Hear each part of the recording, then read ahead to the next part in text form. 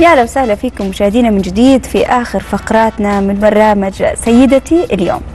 ضيفتي في خلال هذه الفقرة هي خريجة بكالوريوس إدارة أعمال كلية العلوم الإدارية من جامعة الملك سعود بالرياض وحاصلة على الماجستير في الإعلام من جامعة أو الجامعة الأهلية في البحرين وأصدرت عدة مؤلفات واليوم نستضيفها على مبادرة أطلقتها على مواقع التواصل الاجتماعي تحت عنوان نساء للوطن والتي تهدف من خلالها لجمع سير وتراجم لألف سيدة سعودية. راح نتعرف أكثر على هذه المبادرة مع ضيفتي في الاستوديو الكاتبة والناقدة مها الوابل يا وسهلا فيك أستاذة مها. أهلا فيك يا اخت رانيا أستاذة مها يعني في البداية لك إصدار كتاب يمكن من عام 2009 اسمه نساء للوطن. وأطلقتي خلال هذه الفترة هاشتاج نساء للوطن. هل في رابط بين الكتاب وبين الهاشتاج نفسه؟ هو قصة الكتاب أنا كنت كاتبة في جريدة الوطن جريدة اليوم وكنا دائما نتناقش مع مديرة التحرير في القسم النسائي الدكتورة أمل الطعيمي أننا نحب نبرز عمل السيدات السعوديات فكان دائما أطرح عليهم فكرة أني نفسي يكون عندي زاوية أتطرق فيها للنساء المتميزات. فعلا كان يوم أربعاء ما أنسى واتصلت علي الدكتورة وقالت لي رئيس التحرير وافق على الزاوية مها كنا مختلفين على الاسم امرأة من بلادي امرأة مميزة نساء للوطن. واتفقنا على أنه نساء للوطن. وبديت في البحث عن سيدات متميزات أكتب عنهم أسبوعيا. فعلا استمرت الزاوية ل 32 سيدة سعودية متميزة وكتبنا عنهم. بعد كذا لظروف صحية توقفت عن آه الزاوية لكن من 2001 اللي هو فترة آه الزاوية كان عندي رغبة في أني أبرز المرأة أكثر وكنت حزينة أنه توقفت الزاوية. بعدين في 2009 أصدرت الكتاب. ما حبيت أنه السير والتراجم هذه تموت. 2011 ظروف عمل زوجي نقلتني إلى هولندا تحديدا لاهاي قرية الفاسينار في هذه الفترة كان دائما لما يتعرفون على أني سيدة سعودية وأنا أقوم بأعمال مرة بسيطة سويت أد آه يعني آه أسست نادي الكتاب العربي آه بين مع 20 سيدة عربية. كنت أشارك في اليوم العالمي في مدارس أولادي في المدارس الأمريكية. كنت أقرأ قصص الأطفال اللي أنتجتها بلغتين للمدارس مختلفة والجهات للطفولة زي مراكز التوحد. كان دائما أي يعني امرأة غربية تنبهر بما أقوم به رغم أنهم أعمال جدا بسيطة. إذا قارنتيها بالنساء المتميزات في السعودية. فكنت كانوا يقولون أنت سعودية؟ إحنا ما نعرف آه إنكم آه يعني تقومون بهذه الأعمال. أنت شعورنا دائما إن المرأة السعوديه معنفة وضعيفة وتحت عباءة الرجل. يعني أفكار مغلوطة عن المرأة. طبعا سوت معي الدبلوماتيك أفير مجلة هناك. هي مجلة دبلوماسية تعنى بالدبلوماسيين. ورفضت إني أسوي لقاء. قلت لها أنا يعني شخصية عادية. إيش راح تكتبين عني بين الدبلوماسيين وأنا لست دبلوماسية؟ قالت أنت سفيرة للسعودية بدون سفارة. هذه صحيح. الكلمة الوحيدة هي اللي خلتني أوافق على هذا اللقاء. من رجعت طبعا رجعتي هذه السنة يعني سكني بين هولندا والسعودية بسبب ظروف مدارس الأولاد وجامعاتهم. كان تفكيري أنه كيف أبرز المرأة السعودية اللي الناس مش عارفين عنها؟ كيف أقدر أظهرها؟ وظلت فكرة الكتاب معي اللي هو نساء للوطن. في 3 12 2015 أطلقت هذا الهاشتاج اللي صراحة حقق يعني آه يعني تداول. التغريدة الآن وصلت نص مليون. الاطلاع عليها و نص مليون تغريدة من خلال هاشتاج؟ لا مو نص يعني الاطلاع والمناقشات والرتويت نص مليون.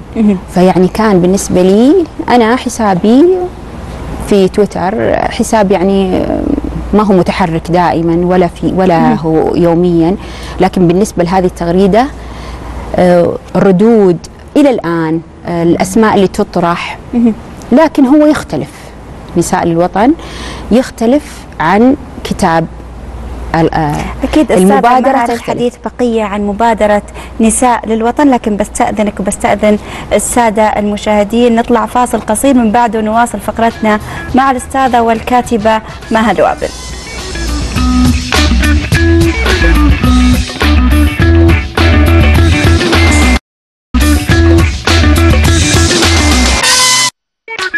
مشاهدينا عدنا من جديد مع ضيفتنا الكاتبة والناقدة مها الوابل من خلال مبادرة نساء للوطن.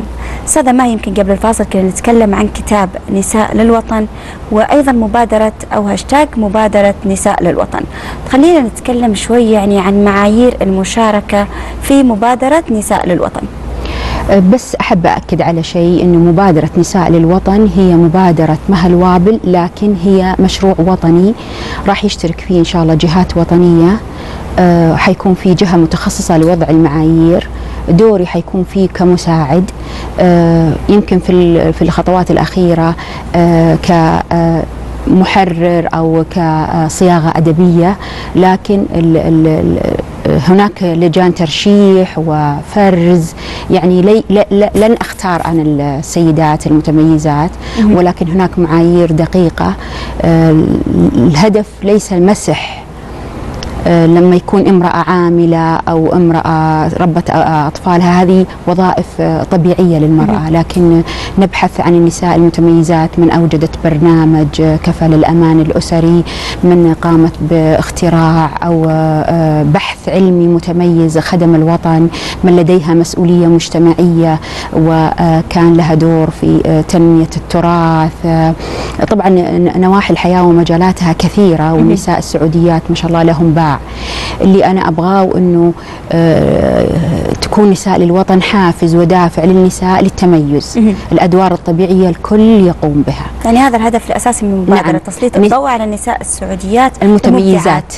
الم... وطبعا إحنا 13 محافظة فأكيد عندنا أكيد ألف طبعا. وأكثر من السيدات المتميزات إن شاء الله. طيب أستاذة آه، مها يعني حابين نتكلم عن يمكن تكلمنا عن المبادره هذه كمبادرة سعودية وطنية بإذن الله.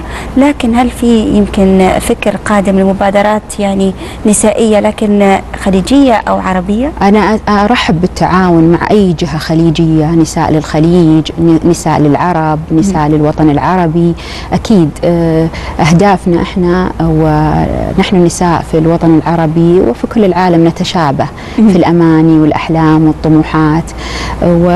ودائما المرأة من الجميل نبرز أعمالها لأنه عندها أدوار متعددة ودورها داخل المنزل وخارج المنزل ولا نغفل جانب الرجل ولكن دائما المجتمعات تهتم أو آه، فيه ضوء أكثر للرجل. نتمنى أن يكون بعد للمرأة ضوء وضوء باهر إن شاء الله. أكيد طبعا بإذن الله. لكن أستاذة ما يعني ككاتبة وناقدة يعني آه، بصراحة يعني بدون دبلوماسية كيف تشوفين دور المرأة السعودية؟ يعني لوين وصل الآن؟ والله المرأة السعودية تحفر في الصخر. أنا دائما أكرر هذه العبارة وتخرج من الصخر ألماس. يعني عندها عادات وتقاليد وأعراف وأحيانا عباءة الرجل تظلمها لأنها لازم تظل خلفه. في تسلط بعض بعض فئات المجتمع ترى أنه لازم المجتمع يكون ذكوري.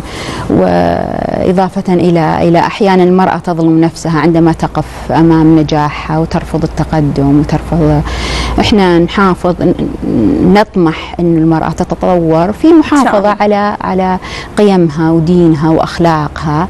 لا ننكر هذا الشيء أنا أشوف إنها تسير آه، في خطوات واثقة من نفسها وصلت إلى قمم. المرأة السعودية وصلت إلى العالمية. يعني مو على مستوى محلي أو خليجي أو إقليمي.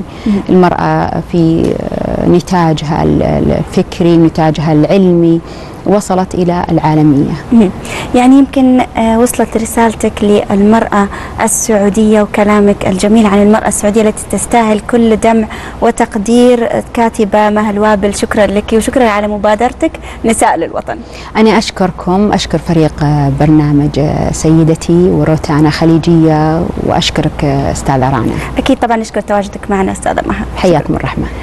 مشاهدينا الآن نكون وصلنا لختام حلقتنا اليوم على أمل اللقاء بكم غدا بإذن الله في نفس الموعد وحلقة جديدة تمسون بألف خير